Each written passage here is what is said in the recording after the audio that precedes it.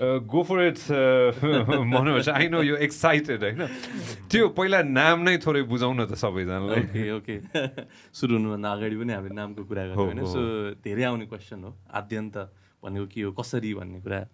So अघि पनि अब कुरा गऱ्यौँ प्राइभेट इक्विटी भेन्चर क्यापिटल के भन्ने होइन? अनि यसमा चाहिँ हामीले कुनै पनि एन्टरप्राइज अथवा प्रोजेक्ट चाहिँ सुरु जस्तै सिड स्टेज होला त्यसपछि अर्ली स्टेजमा जान्छ मिड स्टेज होला लेट स्टेज होइन मच्योर होला।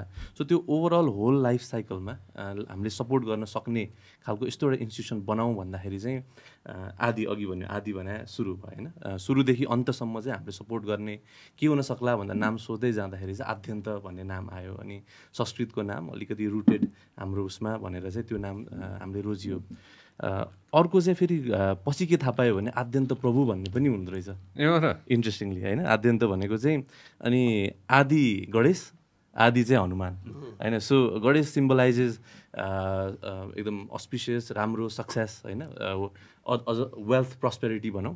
तर फेरि त्यसको लागि चाहिँ हनुमान पनि भन्नु कसरी भन्दाखेरि काम गर्नुपर्ने मेहनत गर्नुपर्ने ब्रेभरी देखाउनु पर्ने होइन? सो आई थिङ्क त्यो होल स्टोरी अब हामी एसपिरेसन छ नेपालको नेपालीको यङ नेपालीको यहाँ पुग्ने भनेर। तर त्यसको लागि जुन मेहनत गर्नुपर्छ काम गर्नुपर्छ नि। सो आई थिङ्क त्यो होल कन्सेप्ट चाहिँ यसले क्याप्चर गर्छ भनेर त्यो नाम राख्यो आद्यन्त भनेर। And please tell everybody sure so आद्यन्तको story चाहिँ अब आफ्नै स्टोरीसँग लिङ्क छ मेरो होइन? म एज अ अब इकोनोमिस्ट बाई ब्याकग्राउन्ड म यता इन्भेस्टमेन्ट बोर्डमा काम गरिरहेको थिएँ विदिन गभर्मेन्ट अफ नेपाल त्योभन्दा अगाडि चाहिँ अलिअलि नेपाल काठमाडौँ बाहिर गाउँहरूमा जाने मान्छेहरूले के कसो गरिरहेछन् के छ भनेर अलिकति त्यहाँको रियल कुरा थाहा पाउने त्यो चाहिँ एउटा मौका मिल्यो। अनि केही समय चाहिँ एउटा कमर्सियल ब्याङ्कको बोर्डमा अझै पनि छु त्यहाँ बोर्डमा चाहिँ बसेर हेरिरहेको थिएँ कि कसरी चाहिँ फङ्सन गर्छ ब्याङ्क्सहरूले कसले चाहिँ पाउँदो रहेछ त लोन के को आधारमा पाउँदो रहेछ भनेर। सो के देखियो भने चाहिँ धेरै चाहिँ जोसँग छ उसैले पाउने जस्तो देखियो कि। अनि I was in very satisfied with that अनि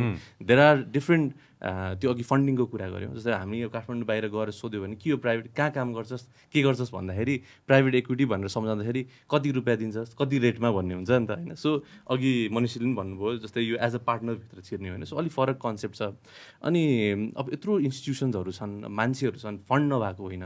तर यसलाई चाहिँ यो लोनबाट मात्रै फोकस लोनमा मात्रै फोकस भन्दा पनि अरू नयाँ खालको कुरामा पनि फोकस गरौँ भनेर इक्विटी फोकस कसरी हुन सकिन्छ भनेर सोच्दा सोच्दै चाहिँ त्यही बेला ठ्याक्कै गभर्मेन्टले यो दुई हजार पचहत्तर विक्रम सम्बन्धमा स्पेसलाइज इन्भेस्टमेन्ट फन्ड रेगुलेसन्स भनेर पहिलोचोटि नेपालमा अल्टरनेटिभ इन्भेस्टमेन्ट फन्डमा चाहिँ यो अलिकति ओपन गर्न खोज्यो होइन। सो ठ्याक्कै त्यो टाइमिङ पनि मिल्यो। अनि हामीले के गर्यौँ भने ल ठिक छ त्यसो भए ब्याङ्क्सहरूलाई पनि अनबोर्ड ल्याउँ। दुईवटा ब्याङ्क सरकारीले सरकारले ब्याक गरेको ब्याङ्कहरू पनि प्राइभेट ब्याङ्क्स पनि then professionals then some high net worth individuals as well अनि यसलाई चाहिँ एउटा एउटा फन्ड म्यानेजमेन्ट कम्पनी दर्ता गरौँ जोसँग आफैमा पुरै फन्ड हुने त होइन।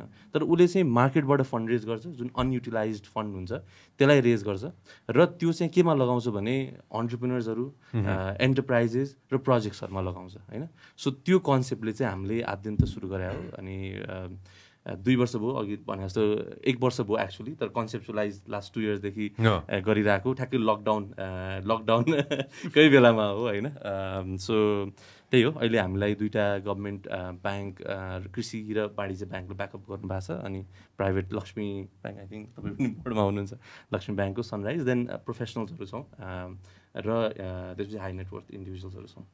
If you love what we are doing, make sure that you subscribe and turn on notifications. Thank you very much for watching us on YouTube. Make sure that you also listen to us on Spotify. This program is brought to you by Vyas Studios.